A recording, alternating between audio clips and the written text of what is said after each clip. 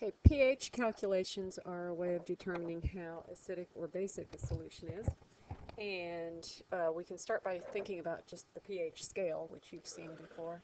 If you consider 0 here, we've got 7 in the middle, and 14, then what we see, um, if this is our pH scale, that this low pH is going to be more acidic, and a high pH is going to be more basic.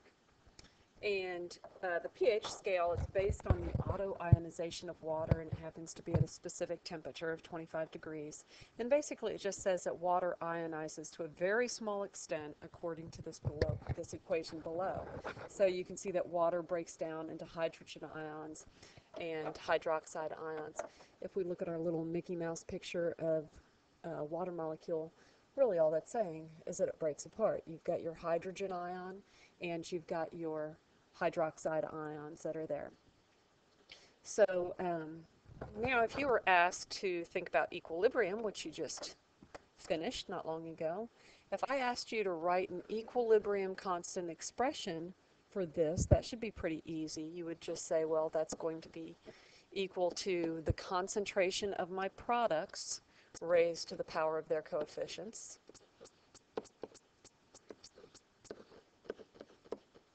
divided by the concentration of your reactants raised to the power of their coefficients. And hopefully you're looking at this saying, wait a minute, that's liquid. Liquids do not have concentrations, so you would just put that over 1. Well, that's really what this formula is that we have right here and it's just saying that the equilibrium constant expression for water is equal to uh, 1 times 10 to the negative 14th. It's actually a certain value. Okay, so this equation that we have right here, this is going to be something that you need to memorize. And our equation is just that our hydrogen ion concentration times our hydroxide ion con concentration equals this certain value, and that value is 1 times 10 to the negative fourth, so that's something you need to commit to memory. Um, and this little paragraph here just reminds us what we just said, that water is not part of your equilibrium constant expression because it's a liquid, therefore it doesn't have uh, a concentration. And also this value, we know that equilibrium constants change with changing temperature, so this is valid for 25 degrees Celsius. Okay, so now we have our first example, and here we're asked to find the concentration of hydroxide ions in a certain household ammonia cleaning solution, and that cleaning solution is 0.0025 molar. We want to calculate the concentration of the hydrogen ions. So we're given our hydroxide ion concentration, and maybe we want to even remind ourselves of our um, formula. And to be honest, we don't even need to write KW, so I'm just going to take that away. Our, um, let me do it this way. I should have written this one first.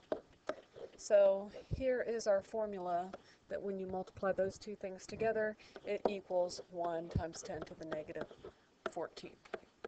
So there's our formula that we're going to be using. We know the concentration of our hydroxide ions, we also know our constant, so we can easily plug this in and solve for our hydrogen ion concentration. And that's just going to be 1 times 10 to the negative 14th divided by our hydroxide ion concentration, which gives us a value of that. And we're talking about concentrations, so it would have a unit of molarity. So that's our concentration for number one.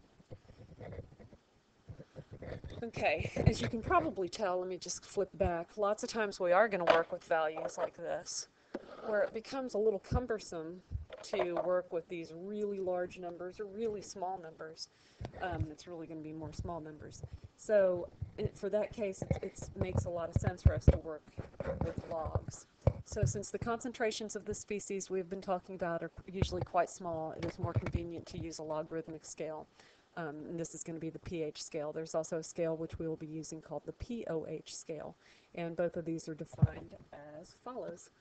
And again, this is another set of formulas that you will be responsible for knowing. And um, because we don't normally work with this so much, let me go ahead and make a note of how we would change this around. This is how you would go, the formula that's given to you, that's what you would use to solve for pH or POH. But if you wanted to solve for the hydrogen ion concentration or the hydroxide ion concentration, trying to remember your math skills here, this is what you would do. You'd change it around and say that your hydrogen ion concentration is going to equal 10 raised to the power of negative pH. And you actually have to go through that calculation. You can't just leave it written like that. And then your hydroxide ion concentration would be equal to 10 raised to the power of negative POH. So all of these formulas you should be familiar with. And then the easiest one of all is just that when you add pH and POH together, they should equal 14. So that gives us that pH scale that we originally talked about. So next example, here it asks, uh, what is the pH of neutral water and what is the pOH of neutral water? Well, it's neutral, so we know that that just means um, the pH is going to be 7 for both of those um, because we know hydrogen ion concentration equals 1 times 10 to the negative 7th molar if it's neutral. Um, it's asking for pH. Maybe you could think of it in this term first if you wanted, thinking about your concentrations. And then your hydroxide ion is also equal to that. That's what it means for it to be neutral, that you have the same number of ions for each of those.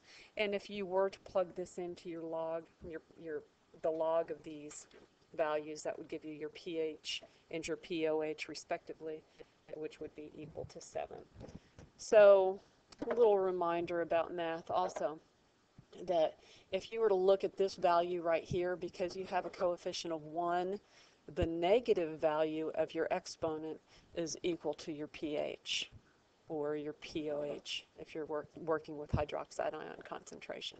So the negative value would be equal to that exponent. The negative value of your exponent would be equal to your pH or your POH. If this value right here is not a 1, then it's going to be within 1 of that, but it's not going to be equal exactly. Um, it's not going to be a whole number anymore. Okay, next one. Here we have uh, we're given the concentration of hydrogen ions in a newly opened bottle of wine is a certain molarity. Only half the wine was consumed and the rest was left open to the air for a month. The remainder was found to have a hydrogen ion concentration of a different molarity. We want to be able to calculate the pH of the wine on both those occasions. So our first one, here we're going to calculate pH. We remember that that's equal to the log, the negative log, of your hydrogen ion concentration. And we know in our first situation it tells us that it's equal to 3.2 times 10 to the negative fourth. So now it just becomes time for you to practice and make sure you know how to plug that into your calculator and you should get 3.49. What I was just mentioning on that last slide is that because this value is not a 1, my pH is not going to be 4, but it's going to be within 1 of 4. It's going to be pretty close. So that's maybe a good way for you to just make sure that you're um, plugging things into your calculator well. 3.49 sounds very plausible when I look at that value right there. And then if we were to do the same thing after however long a month has passed by, we see that negative log of our hydrogen ion concentration so negative log of 1 times 10 to the negative third. Well, I can do this without even using my calculator. That's going to equal 3 because this is a 1. Therefore, my, my pH is going to be the negative of my exponent, which is just 3 in this case. Okay, example number 4 here it says that the pH of rainwater collected in a certain region of the United States, Northeast, U.S., sorry, U.S. Northeast on a particular day was 4.82.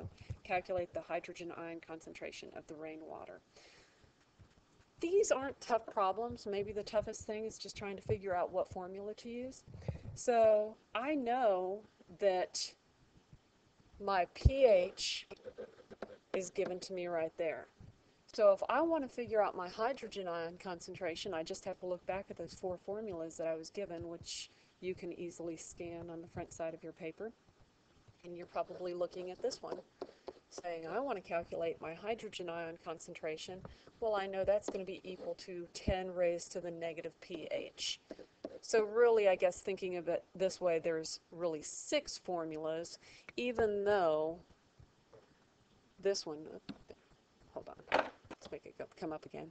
There we go. So here I'm saying that this was really two formulas, but if we think about how we changed it around to equal the concentration of the ions, you can think of it as six formulas. So we wanted to calculate the hydrogen ion concentration, so we just have to plug it into this. And we get 10 to the negative 4.82. So plugging that in, there is your value. Easy stuff. Okay, next one. Here we're given a pH. Uh, no, I'm sorry. We're calculating the pH of a concentration of 1 times 10 to the negative third molar hydrochloric acid solution and a 0.02 molar sodium hydroxide solution.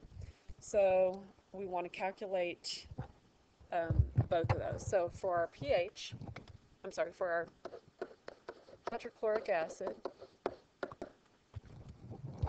we can uh, say that our pH is equal to the negative log of your hydrogen ion concentration, which is 1 times 10 to the negative third. And that's going to, even without our calculators, we know this one, that's going to be equal to 3. But double check, convince yourself, put it in your calculator. And then um, I guess there's something I should point out here that when we're calculating pH, if it gives me this concentration for an acid, essentially it's telling me that this is the concentration of my hydrogen ions. However, when I look over at my next one and it gives me this value, this concentration for my sodium hydroxide, so it's giving me a concentration for um, a base, it's not telling me my hydrogen ion concentration. Instead, this is telling me my hydroxide ion concentration. So that's going to be pretty important. Another part of this that's pretty important as well is the fact that I can look at this and realize that this is going to be a strong acid and this we know is going to be a strong base. So because of that, we can just use our pH calculations as is. Later on, I think it's um, tomorrow, we will go through and do some calculations with weak acids and weak bases. So for our hydrochloric acid, it was just that simple. When it gave us our concentration, it was giving us our hydrogen ion concentration. So that's what we plugged in. But for our sodium hydroxide, if I'm given my hydroxide ion concentration, there is no formula. Look back at those six formulas. There is no formula that goes back and forth between hydroxide ion concentration and pH. So you have a couple different options. I'm going to go ahead and choose the option of POH equals the negative log of your hydroxide ion concentration. Remember what we did here was we calculated pH, which is negative log of your hydrogen ion concentration. So now for my sodium hydroxide, when I plug this in, I'm going to get that it's equal to the negative log of 0 0.02. And when I calculate that, I get 1.7. It is worth noting, again, that that's my POH. That's not what the question asked for. So now if I want to find pH, you probably know what to do. You would just say that your pH is equal to 14 minus 1.7. So I'm just, remember the two of those added together would equal pH. Um, yeah, pH value. So, um, or I'm sorry, they equal 14. So when I subtract this, I get 12.3 that is one way to go about it. Maybe you wanted to do it differently. Maybe you looked at this and said, okay, if I know my hydroxide ion concentration and I want to determine pH, well, there's another route that you could have taken as well. You could have used your hydroxide ion concentration to calculate your hydrogen ion concentration. So you could have said that this equals 1 times 10 to the negative 14th divided by your hydroxide ion concentration.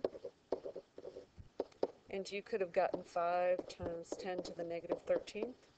Then maybe you would have said that your pH equals the negative log of that value. And again, you would have come up with exactly the same answer. So the thing to notice from the second part here is that there was more than one way to go about it, but each way took two steps, two formulas to find that correct answer because we're looking for pH of a base of hydroxide ions. Okay, last one. Skip it. Where is it? I must not have put it in here, but that's okay because we can make it happen. Um, let me just kind of point this out first. This is just a little scale showing the differences. You can stop and stare at it if you want. Um, let's go ahead, this last one, which I failed to put in, it says that we want to go ahead and um, we have a solution that has a pH of 5.79 sorry, I can't write this high. pH equals 5.79. And the question is to calculate in order the hydrogen ion concentration, then the hydroxide ion concentration, then the POH, and then the pH using only the information from the previous step. So in doing that, we're going to start by saying that we know the pH and we want to calculate our hydrogen ion concentration. So our hydrogen ion concentration is going to be equal to 10 raised to the negative pH. Take some time and look at it and make sure you knew what formula to use. So that's going to be equal to 10 raised to the negative 5.79, which equals 1.62 times 10 to the negative 6 molarity. Next step is to calculate hydroxide ion concentration using only our hydrogen ion concentration. So for that one, we would have to use that first equation that just says the two concentrations multiplied together would equal 1 times 10 to the negative 14th. So we're just going to say 1 times 10 to the negative 14th divided by that hydrogen ion concentration. And for that, we get 6.17 times 10 to the negative ninth molarity for our hydroxide ion concentration. Next, we want to determine our POH based only on our hydroxide ion concentration. So that's going to be equal to the negative log of our hydroxide ion concentration. So negative log of 6.17 times 10 to the negative ninth. And that value equals 8.21. Maybe you want to stop for a second and say, does that seem reasonable? Yep, that seems reasonable. And then the last step is to calculate pH based only on POH. So that's going to be equal to 14 minus your POH. So 14 minus 8.21. And yes, we have come full circle and come back to our pH of 5.79. That is how you go about pH calculations.